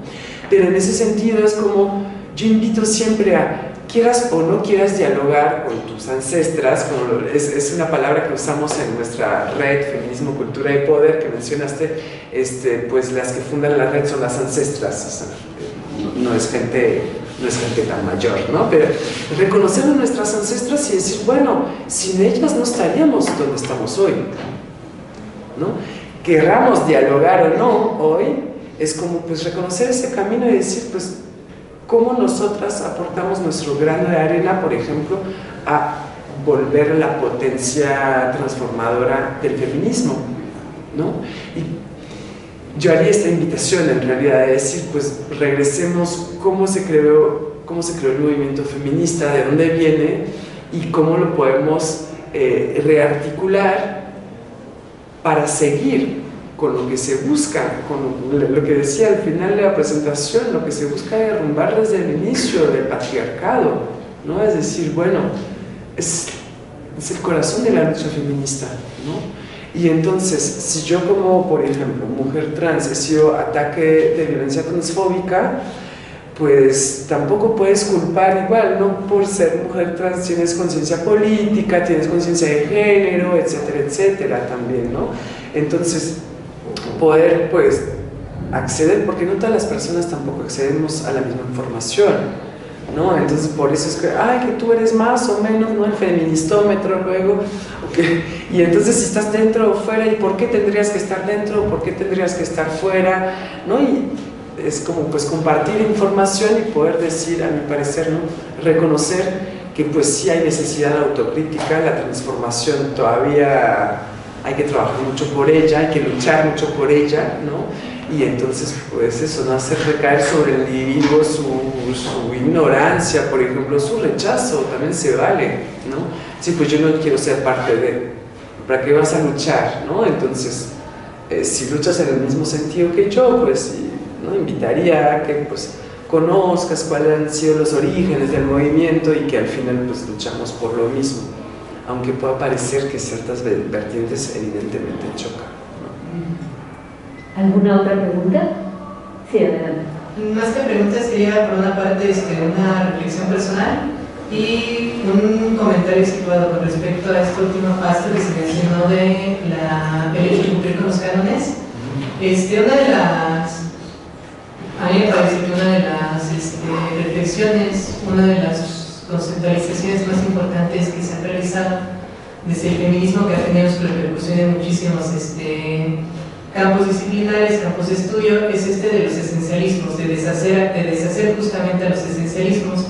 Algo que me parece, una cuestión que me parece importante para reflexionar es la cuestión de los esencialismos estratégicos, es decir, reconocer que hay momentos en los que va a convenir, sí, decir, ah, bueno, sí soy esto, para, por ejemplo, esto de debatir este, políticas públicas, etcétera, pero también que haya esta capacidad de que ese esencialismo se deshaga, que posteriormente pues, se reconozca esta, pues, esta, este tránsito permanente que hay con respecto a las entidades. Eso lo reflexiono eh, de manera personal, pues en tanto yo que mujer trans.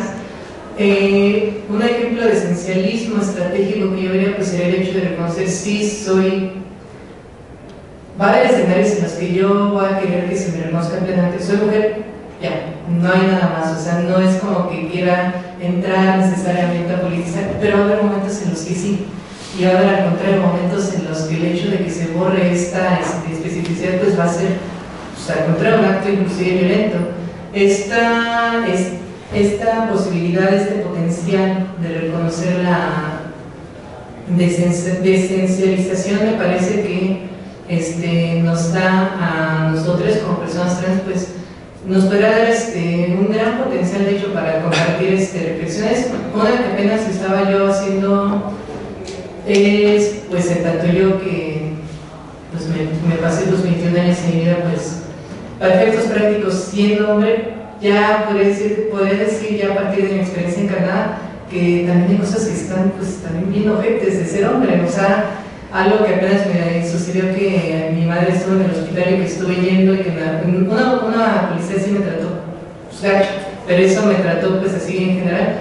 Yo me puse a pensar, híjoles, pero es que yo recuerdo que cuando para efectos prácticos era, era ese un trato que estaba en todo momento presente, que era algo bastante constante. Son reflexiones que me parece que nosotros en tanto nuestra, nuestras experiencias encarnadas, nuestros tránsitos, pues vale la pena bastante recuperarlas, expresarlas y que es necesario para ello tanto esta capacidad de cristalización de las esencias como también de su, liberación. Como mencionaba, eso de los esencialismos estratégicos. Y del comentario, ahorita es que mencionabas esto de, dabas este ejemplo de cómo es que luego se nos criminaliza a nosotras las mujeres trans por replicar este, cánones de belleza que sean este, problematizado, cuestionado, rebatido muchísimos de los feminismos, pues igual es algo que me parece bastante pertinente que mencionaste, es esto de que ser mujer trans no te den automático este, conciencia política, va a haber cosas que pues todo el tiempo se van a que estar, este, que todo el tiempo vamos a estar rebatiendo, reflexionando, no sé lo hacen, pero a mí me parece pues una posición bastante valiente, bastante ignorante, bastante valiente, no sé cómo llamar el hecho de que se nos eche justamente la bola por el hecho de replicarnos, justamente por esto lo sistémico. Pues es que si no lo hacemos, híjoles, ¿a qué violencias nos estamos, este, nos estamos, ante qué violencias nos estamos poniendo? No, más que ante qué violencias nos, nos estamos poniendo, mejor dicho, de qué violencias estamos en una posición de mayor vulnerabilidad. Lo pienso, me acaba de pasar literalmente hoy, que en el día de hoy, pues, este, simplemente se me pasó este, retirarme el vello facial. No, bueno, ya, ya me tocó este, en el transporte público, las miradas, el comentario de que pinche monstruo. Ah, bueno, va. Me pongo el cubrebocas. Ah, bueno, ah, ya te toca, ah, ya toca, pero la cosa. Creo que es una posición, pues sí, bastante malentonada este, esta cuestión. Yo creo que muchas de nosotras, personas trans, tenemos más que presente, tenemos más, sí, tenemos más que presente, pues cuáles son estos efectos nocivos, este, coercitivos, represivos de los cánones de género. Muchas gracias. Muchas gracias por este compartir, además, como dices, encarnado, situado, ¿no? es, es, fundamental este, pues, poder escuchar estas experiencias y estas reflexiones. Como dices, hablas de estos este, esencialismos estratégicos, ¿no? Y eh, pues justamente ese, esa idea de lo, lo estratégico es que queremos conseguir. Es, es un poco lo mismo que, que el, el, paraguas lejerte más, ¿no? Es decir, pues sí es un, es un esencialismo, es problemático, pero seamos estratégicos en este momento para ver qué, qué, qué, necesitamos conseguir, ¿no? Y, este, y pues en, en definitiva esa, crítica a, por ejemplo, no volvamos, ¿no? lo que retomabas al final, de, eh, de, la reproducción de los cánones de belleza, por ejemplo. ¿no? Esta crítica es, bueno, ¿quiénes critican esos cánones?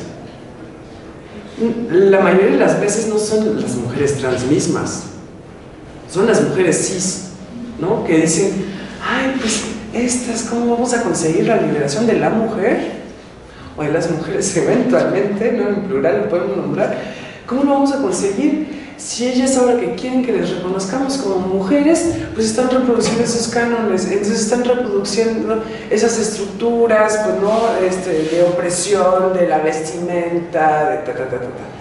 Pero a ver, estamos nuevamente frente a esa disyuntiva de quién habla por quién. Lo mismo cuando quieren hacer leyes. Es decir, y por eso esa, cuestión del, esencialismo estratégico, ¿cómo lo podemos recuperar para decir, bueno, es, en ese momento sí nos sirve para conseguir, por ejemplo, un derecho? ¿no? Y muchas veces, o demasiadas veces, pues eso es lo que pasa, ¿no? Se hacen debates, no sé si recuerden, por ejemplo, hace unos meses apenas atrás, no me acuerdo exactamente cuándo fue, cuando hay una propuesta, hay un debate sobre trabajadoras sexuales, donde las trabajadoras sexuales no están en el debate. No, igual, por ejemplo, hay una discusión ahora en curso sobre eh, la tipificación del transfeminicidio, si tiene que ser aparte o dentro de la de feminicidio, ¿no? Y ahí sí se incluyen a mujeres trans. Entonces, como que bueno, porque si no volvemos a caer nuevamente en pues, pues este modelo excluyente, al final jerarquizante de deja yo hablo por ti. Que es sumamente, pues sí, asistencialista este, y, y, excluyente, al final es esto, de yo hablo por, pero ¿quién conoce su realidad, esta realidad encarnada? Como nos comparte la, ¿no? la compañera ahora, es decir, pues ¿quién conoce esa realidad de con o, sin eh, cubrebocas? El acoso o la burla.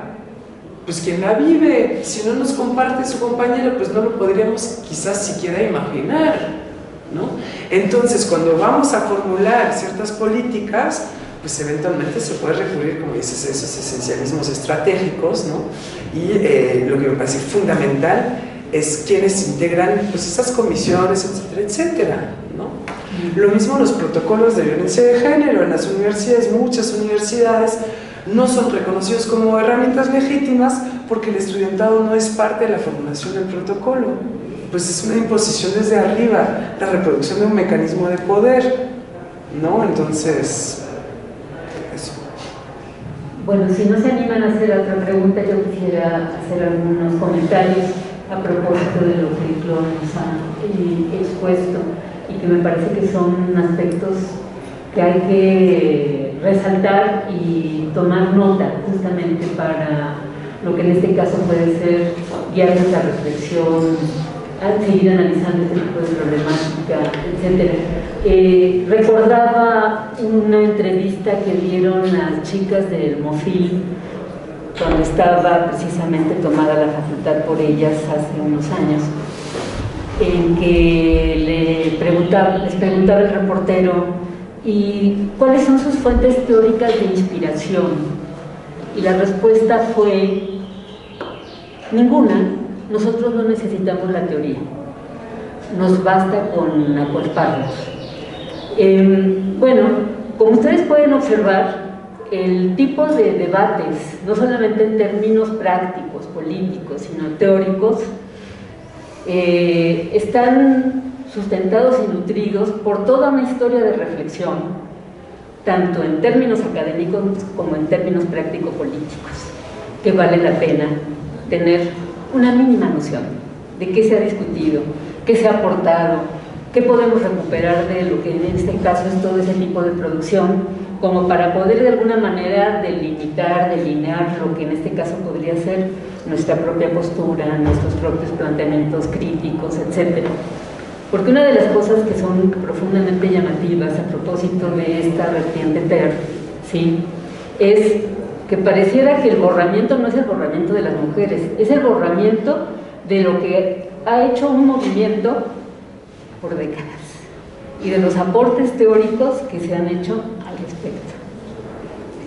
Y allí, además de esta parte, pues una suerte también de borramiento de algo de lo que es uno de los aportes críticos en términos políticos más sustanciosos, en este caso del feminismo, que es justamente un pensamiento democrático, en donde la exclusión de esta forma, no solamente tan, tan este, falta, podríamos decir, de, de matices, de reflexión profunda, etcétera, sino de valores mínimos de reconocimiento, de respeto a la dignidad de las personas, etcétera, parece que se quedara precisamente diluido. Entonces, son cosas que no podemos perder de vista. Pero hay otra que señalaba Roy que es fundamental.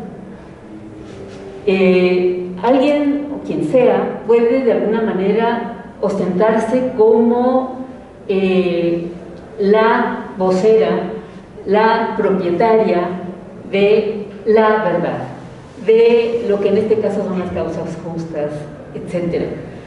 Pero lo que nosotros tendríamos aquí que tomar en consideración es algo que yo he insistido en muchas otras ocasiones, es no valdría la pena hacer esta suerte de lectura sintomática.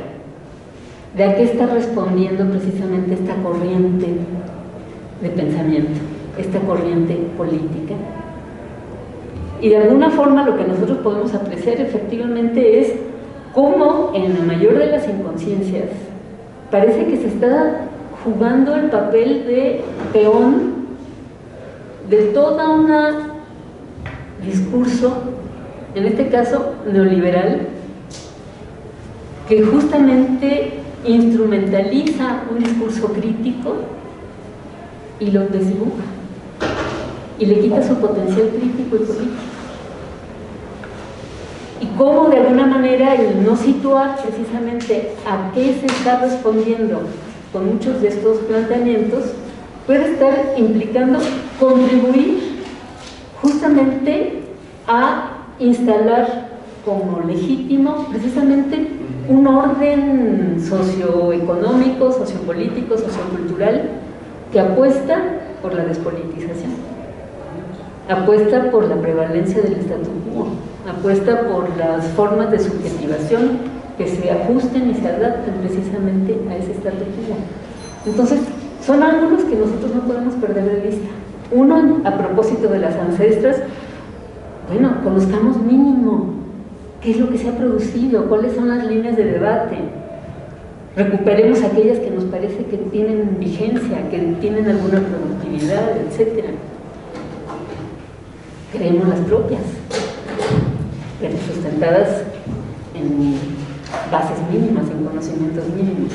Pero sobre todo tratemos de hacer una suerte de reflexión crítica, somos congruentes con lo que implica ese discurso crítico y democratizante, emancipatorio, o estamos justamente yendo en contrasentido a lo que sean estas formulaciones. A mí me, parece que son claves ¿no? en esto que tú nos estuviste comentando. Fernanda, no sé si tú también quieres comentar algo este, nada más de manera muy rápida, creo que eh, la operación teórica que hace Valencia me parece de, de, gran relevancia en términos de, em, de pensar ese prefijo trans que acompaña al transfeminismo, no en términos nada más de un reconocimiento de las, de, la, de las mujeres trans, sino más bien en un sentido más como de transversalidad, justo de estas lógicas de poder tan diversas que se articulan y producen ciertos, eh, ciertas eh, desigualdades justo que se encarnan, ¿no? Entonces creo que esa operación no hay que perderla de vista, porque además nos abre el panorama a consecuencias otras que, eh, que, se están viendo a partir justo de esta disputa y de estas posiciones eh, excluyentes, ¿no?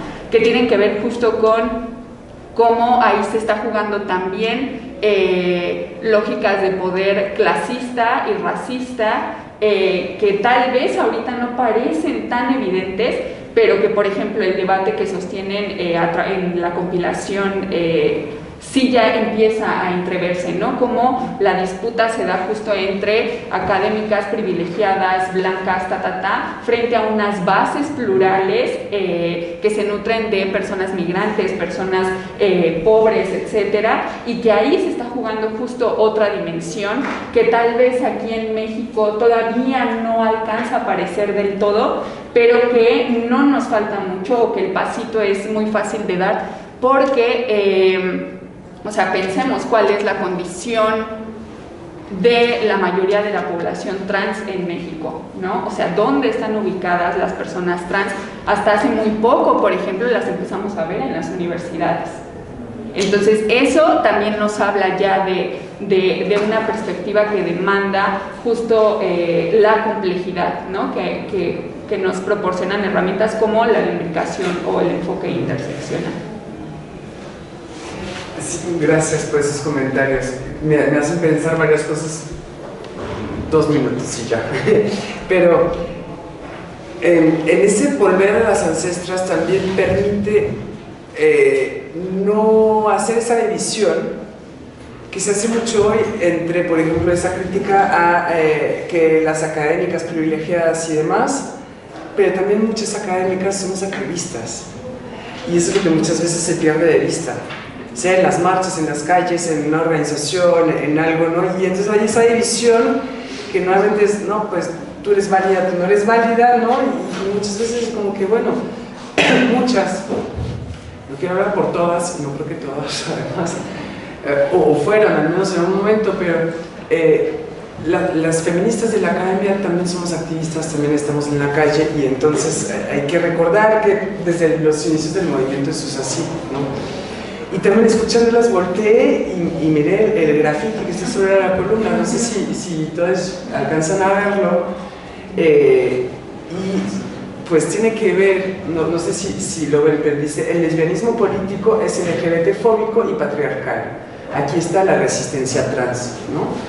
Entonces es como bueno, aparte de que el lesbianismo LGBT-fóbico, bueno, dentro de LGBT-fóbico está la L de lesbianismo, eso, bueno, pues ya no habría habido que pues, sacarla de ahí. Pero este lesbianismo político que muchas veces se le acusa pues también este, de transfóbico, ¿no? Y creo que hay que, hay que hacer un ejercicio eh, pues de memoria también y de, matices, porque pues no todas las lesbianas políticas, como dice ahí, son terfas. eso no es así, ¿no? Eh, al contrario, creo. Y eh, más bien, lo que creo que puede ser un problema para ciertos sectores de este llamado lesbianismo eh, político es el sentimiento de que se quiten espacios. Así como podían criticar de que los hombres gays van a hablar por nosotras ahora, sabemos, ¿no? Luchado contra esa dominación de los hombres para que eh, hombres gays vengan a hablar y nos, nos quiten la palabra. Yo creo que eh, es, es, muy importante reconocer la importancia de las lesbianas en, la historia, desde los inicios hasta hoy, ¿no? Eh, del movimiento feminista pues yo creo que la, la, cuestión es otra vez pues no quitar espacios, más bien sumar los espacios. Me parece eso fundamental para pensar en sumar los espacios que implica no jerarquizar ni priorizar las luchas. Esa es una cuestión también. Y hay muchos errores políticos, institucionales, que conllevan a ese coraje que se entiende muy bien de ciertos sectores, de que cuando se quiere hacer una secretaría de, de todas las poblaciones vulnerables juntas, y entonces es como que, bueno, a ver, a ver, qué espacios hemos ganado y cuáles podemos sumar, pero de pronto no, no, no se puede hacer sopa de todo, ¿no? Porque de pronto pues no, no tiene sentido, no sabe rico, enferma, ¿no? Pero esa, es, ese ordenamiento no, neces, no necesariamente implica jerarquización y mucho menos priorización. ¿no? porque definitivamente, pues sí, las mujeres, las, los cuerpos feminizados, racializados, etcétera, pues tienen que ser prioridad. Pero todas estas vidas vulneradas ¿no? por ese problema sistémico. ¿Ya? Bueno, pues se nos terminó el tiempo. Te agradecemos mucho Muchas gracias a ustedes también. Aportativa toda esta reflexión. Gracias.